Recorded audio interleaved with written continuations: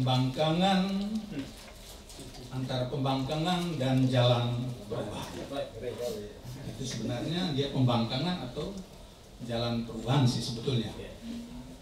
Mari kita boleh melihatnya dengan lebih jeli. Kalau baca letter lex saja tentu pembangkangan. Pembangkangan.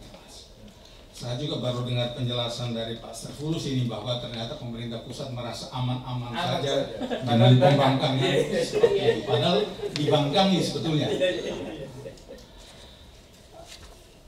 Undang-undang sebagaimana yang dikatakan Pak Serfulus tadi mengaturnya tentang tentu lain kewenangan moratorium ada di pemerintah pusat dalam hal ini menteri dan dasar dari keputusan moratorium itu sendiri sudah jelas juga di dalam undang-undang pasal sekian yang ada di situ pasal pasal 32 ya ada di situ dengan demikian maka kalau kita baca undang-undang dan lihat NT tidak ada logika lain selain mengatakan bahwa itu pembangkangan. Tentu saja bahasa politik boleh berbeda dengan segala penghalusan bahwa kita mengizinkan segala macam, tetapi itu uh, pembangkangan, itu protes terhadap suatu keadaan. Saya mengatakannya sebagai suatu pembangkangan yang lahir dari kegalauan galau sebetulnya pemerintah daerah itu. Itu gara-gara jadul jadi bapak dan ibu tidak bisa lihat itu.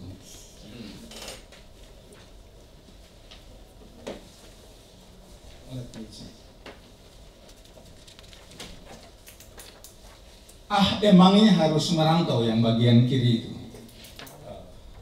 Dan pemerintah kita juga, daerah kita juga kadang-kadang tergoda merasa seolah-olah bahwa uh, tidak perlu merantau. Lapangan pekerjaan di daerah itu cukup.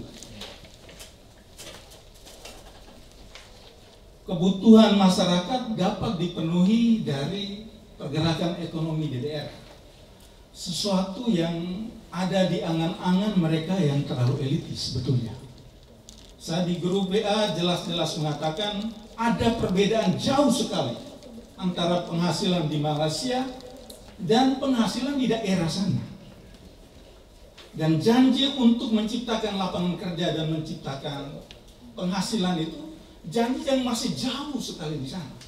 Yang ada di hadapan mata ini adalah bagaimana saya bertahan hidup hari ini, bagaimana saya bisa mengirim anak saya yang sekolah di Jawa ini setiap bulan sekian itu.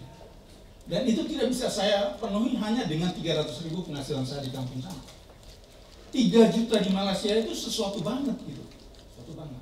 Pemerintah kadang-kadang tergoda, ya kenapa tidak di sini aja, laut kita banyak. Sesuatu yang bullshit menurut saya. Lalu yang kedua, kenapa ada kegalauan? Ah masa gue urus mayat doang? NTT itu 2018 kemarin ada 105 mayat yang dipulangkan dari Malaysia. Tahun 2019 ini ada sudah ada 11 mayat uh, dari Malaysia sana. Ini Bang Petrus ini yang pasti lebih ikuti itu. Jadi mayat pulang. Tetapi nanti sebagaimana nanti bagian berikut yang saya jelaskan itu juga bersumber dari kegalauan tentang posisi daerah di dalam urusan sistem perlindungan tenaga kerja ini. Pak Serpulus mengatakan sudah banyak ke daerah, sudah banyak itu belum tentu cukup. Dan saya kira kita ditantang untuk menganalisis secara cermat apakah tugas-tugas wewenang yang dikasih ke daerah itu sudah memadai atau tidak menempatkan daerah itu pada posisi yang cukup powerful untuk mengendalikan keadaan daerah atau tidak. Saya mengatakannya tanggung sekali, jauh dari cukup. Lalu yang ketiga adalah ruang sistem.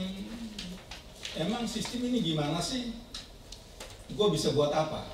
Nah, itu juga kaitan dengan uh, posisi daerah yang uh, tanggung seperti itu. Apalagi pemerintah daerah kita bagaimana harus belajar detail ini yang kita baca yang gampang,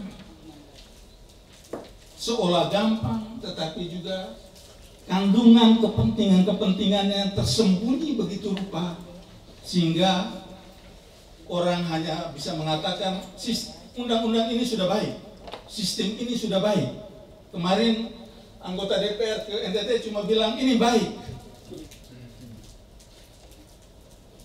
Ini penyakit dari juga kemalasan kita untuk menganalisis isi dari undang-undang yang ada dalam perspektif yang lebih jadi eh, kesempatan ini barangkali saya mau mengatakan bahwa pembangkangan ini adalah pembangkangan yang bagi saya diperlukan sesungguhnya. Diperlukan. Diperlukan dan bisa menjadi bermutu kalau ada tindak lanjut yang pas. Kalau tidak dia sebatas pada pembangkangan galau. Posisi saat ini menurut saya hanya dengan mendatangkan Fahri Hamzah yang pidato hanya mengatakan sistem perlu dibenahi hanya dengan mendatangkan anggota DPR lalu mengatakan bahwa nanti kita akan bawa ke Jakarta lalu tiba-tiba membuka dua perusahaan beroperasi kembali bagi saya masih merupakan suatu keputusan moratorium yang galau. Dia tidak memperlihatkan mutunya sama sekali untuk menunjukkan tentangan kepada pemerintah pusat cepat perhatikan kami inilah ada adalah aspirasi kami ada sistem yang salah yang harus dibenahi dan critical point yang pertama menurut saya adalah uh, next uh, posisi Pemda yang tanggung untuk menghargai tulisan panjang saya, saya ini sesekali perlu saya baca juga ya. Uh, uh, ada saya baca juga baca dulu secara keseluruhan saya akan memaparkan critical point terkait dengan sistem perlindungan kita ini. Ada enam point di situ. Yang pertama posisi Pemda yang tanggung. Yang kedua, ketiadaan sistem pengawasan. Yang ada adalah judul-judul kegiatan di bawah sistem perlindungan yang tadi sudah dijelaskan. Lalu poin ketiga nanti ada angka-angka seperti itu. Kita mulai saja dengan yang pertama, posisi Pemda yang tanggung. Next slide. Pertama, Pemda hanya memiliki kewenangan tugas memberikan perlindungan sebelum bekerja dan sesudah bekerja. Tidak selama bekerja. Mungkin karena Kupang terlalu kampung jauh, eh, kabupaten-kabupaten terlalu jauh, jadi urusan di selama bekerja itu enggak ada. Lalu kepada Pemda memberikan perlindungan sebelum bekerja dan sesudah bekerja, lalu tugas dia juga adalah kalau ada mayat yang datang dia urus. Kira-kira bahan begitu. Jadi dia cuma urusan itu saja bayangkan Pemda tidak pusing buat moratorium. Kalau Pak Petrus soal gonggong marah-marah Pak Gabriel soal marah-marah karena mayat datang lalu dia tidak tahu ini apa nih? Saya kan? Tidak bisa buat apa-apa di Malaysia sana. Itu kan urusannya urusan orang pusat orang kedutaan kok. Gue dimarah-marahin emangnya enak?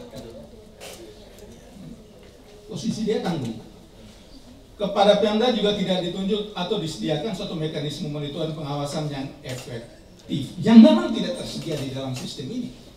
Sistem ini menyediakan perlindungan yang hanya untuk orang-orang baik aja, untuk proses yang baik.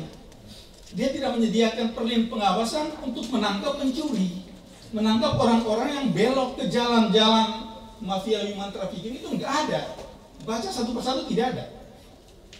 Dia cuma bilang kalau sudah lengkap administrasi di sini, pergi ke kabupaten begini, pergi ke provinsi begini, itu kan untuk orang baik. Bagaimana menangkap orang-orang yang berkeliaran di jalan-jalan yang belok menurut aturan yang mafia mafia yang ada itu enggak ada.